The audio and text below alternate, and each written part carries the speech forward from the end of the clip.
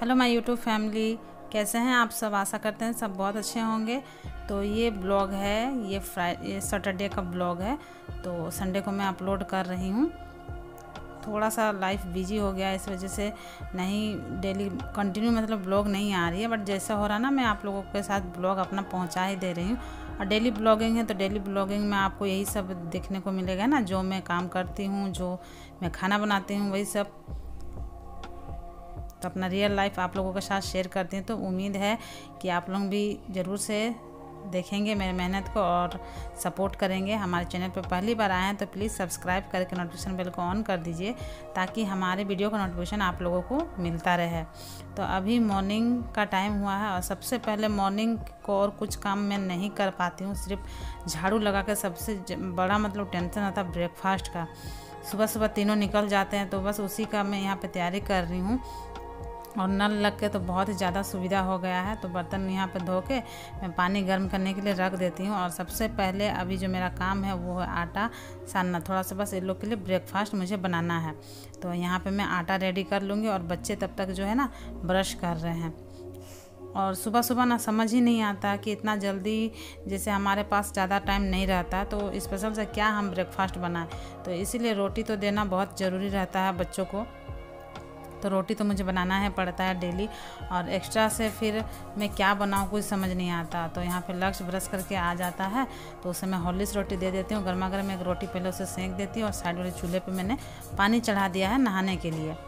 आते आते भी उसे शाम हो जाता है तो काफ़ी लेट हो जाता है। और यहाँ पे वो खा के चला गया है। पानी गर्म हो गया तो मैं उसे अभी आधा ही देखिए रोटी बना है और उसे पानी पहुँचाने के लिए मैं जाऊँगी बाथरूम। फिर अभी आयुषी आ जाएगी और आयुषी को भी मैं अभी ब्रेकफास्ट दूँगी तो जब तक लक्ष्य रेडी होते रहता है, उसके बाद आयुषी उठ के ब्रश वगैरह करती है। तो ऐसा ही होता है किचन का काम फिर छोड़ छोड़ के हमें बीच में जो जाना पड़ता है। तो रोटी के साथ मैं सोच रही थी, आज क्या दूँ? कुछ समझ नहीं आ रहा था कि क्या सब्ज़ी दूँ, सब्ज़ी, रोटी, डेली डेली बच्चे कितना खाएँगे। तो यहाँ पे टमाटर कुछ थे तो मैंने सोचा कि चलो, क्यों ना इसकी मैं मीठी चटनी बना दूँ। गुड़ तो है नहीं तो चीनी डाल के मैं इसका जो है मीठी वाली चटनी बना दूँगी। तो इससे क्या होता है ना कि बच्चे अच्छे से खा लेते हैं, मीठा मीठा कोई चीज़ रहने से। तो टमाटर को सारे मैंने यहाँ पे कट कर लिए हैं तो एक बस मैं मिर्च डालती हूँ। थोड़ा सा अगर तीखा नहीं रहेगा ना तो हस्बैंड जी नहीं खाएँगे। इसलिए मुझे ऐसा मतलब सबको हिसाब से बनाना पड़ता। और मिर्च मैं एक ही डाली हूँ इसलिए और चीनी थोड़ा सा ज़्यादा यूज़ करूँगी तो बच्चे भी आसानी से यहाँ पे खा लेंगे।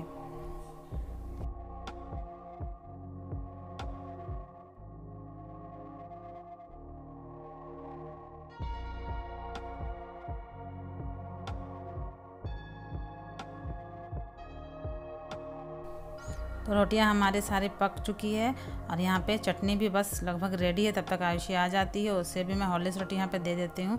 फिर अभी इनका टिफ़िन जो है, वो रेडी करना है, तीनों का टिफ़िन साढ़े छः बजे तक मुझे कंप्लीट करना होता है। तो अभी ये लोग का नाश्ता हिसाब से बनाया, अभी मम्मी पापा का ब्रेकफास्ट आटा तो गुथा हुआ है ही, बस रोटियाँ सेंकनी है तो वो फिर थोड़ा लेट में जैसे पापा साढ़े सात, पौने आठ में नाश्ता करते हैं, मम्मी का थोड़ा लेट होता है पूजा पाठ करती है तो तो इसलिए बच्चों का सबसे पहले मैं बना देती हूँ तीनों का, उसके बाद फिर हम लोग का अलग से हम बनाते हैं।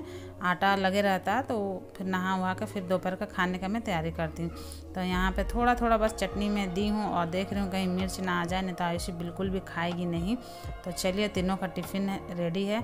आप चलते हैं हम टिफ़िन देने के लिए और यहाँ पे बेटा भी देखिए रेडी हो गया है। पापा का झोला, अपना झोला लिया हुआ है देखिए और कंधे पे अपना भारी सा बैग भी टांगा हुआ है।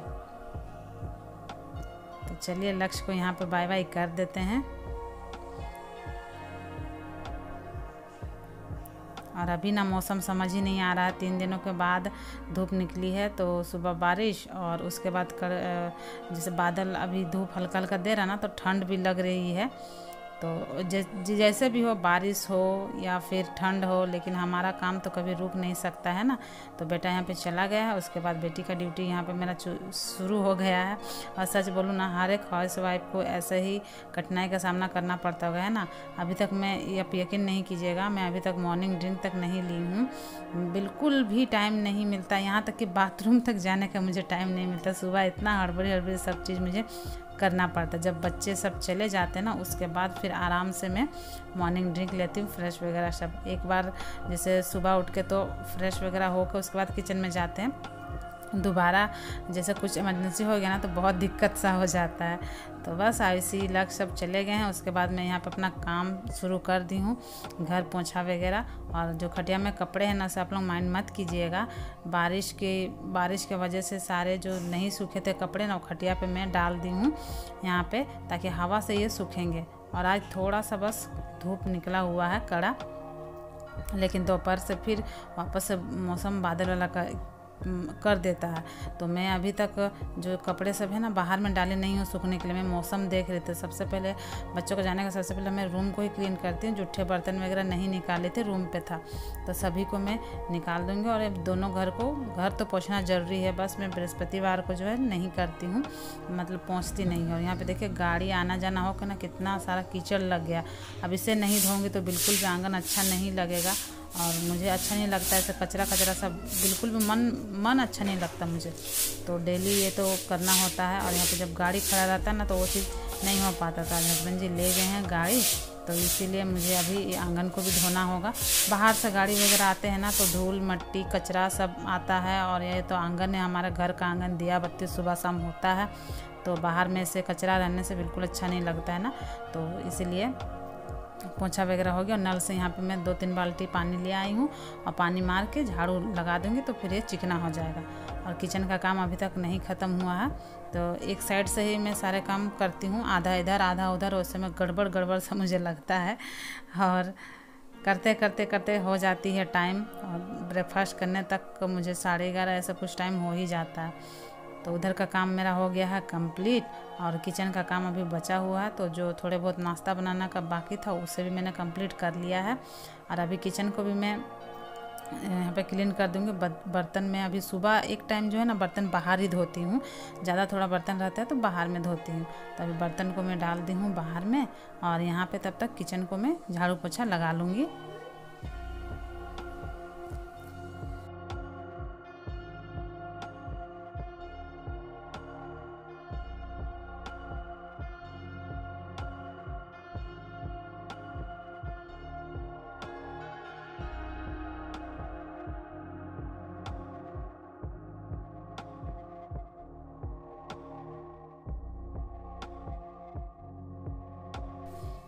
मेरा किचन का काम भी कंप्लीट हो गया रूम का भी, और अभी मैंने मौसम थोड़ा सा देखा कि हाँ हवाएँ चल रही है तो मैंने सोचा कि चलिए अभी रिक्श लिया जा सकता है। तो सारे कपड़े को मैं निकाल ली हूँ रूम से, और एक टब करीब ऐसा कुछ कपड़ा था, और इधर वाले टंगने पे मैं डाल दी हूँ, सभी कम से कम हवा से सूखेंगे। धूप तो है नहीं, हवा चल रही है तो हवा से सूखेंगे, और थोड़ी थोड़ी देर बाद ना धूप दे रही थी तो सुबह से मैं इसीलिए नहीं निकाली, क्योंकि रिक्श लेना नहीं है। जो कपड़ों से थोड़े बहुत पानी निकले हैं ना तो वो भी नहीं तो फिर पूरा भींग जाते क्योंकि सुबह से ऐसा कुछ लग नहीं रहा था कि धूप वगैरह देंगे लेकिन अभी मौसम साफ़ किया हुआ है हवाएँ चल रही तो सारे कपड़े इधर में मैं डाल दिए और उसके बाद अभी आ, अगर मैं नहीं नहाऊँगी तो फिर काफ़ी लेट हो जाएगा तो सबसे पहले मैं कपड़े वगैरह सुखा के अभी मैं चली जाऊँगी नहाने के लिए क्योंकि पूजा पाठ भी घर में करना ज़रूरी होता है।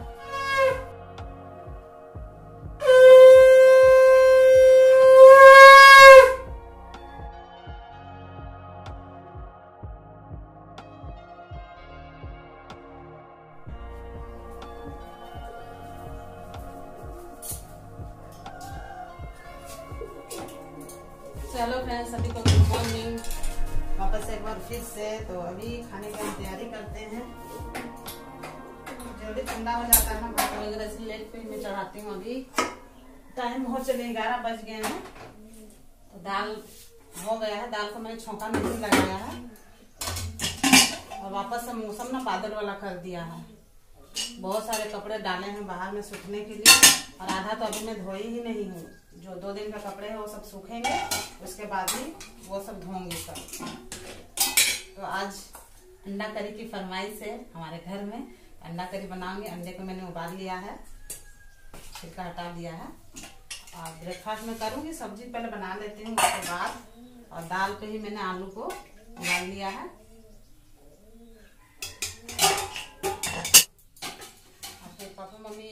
खाते हैं तो उस हिसाब से मुझे ग्यारह, साढ़े ग्यारह बजे खाना चढ़ाना पड़ता है।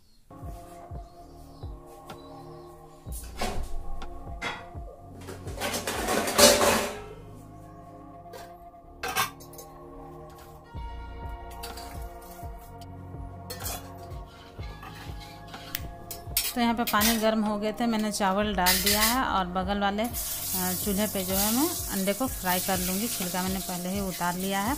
अंडा करी। हस्बैंड जी बोले कि गर्मा गर्म भात, अंडा करी बनाओ। तो दाल मैंने पहले ही बना लिया था, जिसमें कि आलू उबाला था। और इसमें कुछ मतलब गरम मसाला मैं अभी सिर्फ़ नहीं डाली, बाकी मैंने पैरोट का सब्ज़ी मसाला डाला हुआ है और हल्दी पाउडर डाला हुआ है। यहाँ देखिए, हमारा अंडा करी रेडी हो गया है।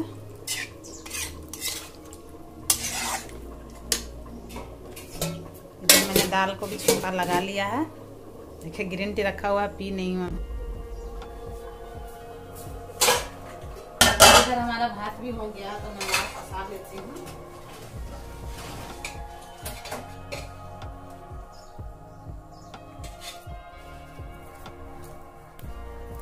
सारा खाना वगैरह हमारा कंप्लीट हो चुका है अंडा करी बना है और दाल भात सिंपल सा हमारा खाना है।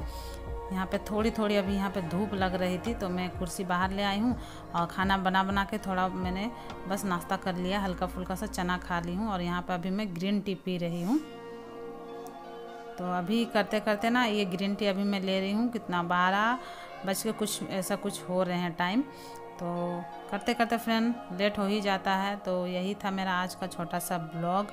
थोड़ी भी वीडियो अच्छी लगी हो तो लाइक, शेयर, सब्सक्राइब ज़रूर कीजिएगा। जैसे होगा कंटिन्यू आप लोगों के लिए मैं ब्लॉग लाते रहूँगी। अपना रियल लाइफ आप लोगों के साथ शेयर करती हूँ। तो आज जो है यहाँ पे धान का जो तिरपाल है ना, वो हटा के मम्मी जी सुखा दिए हैं ताकि धान पे भी थोड़ा सा यहाँ पे धूप लगे।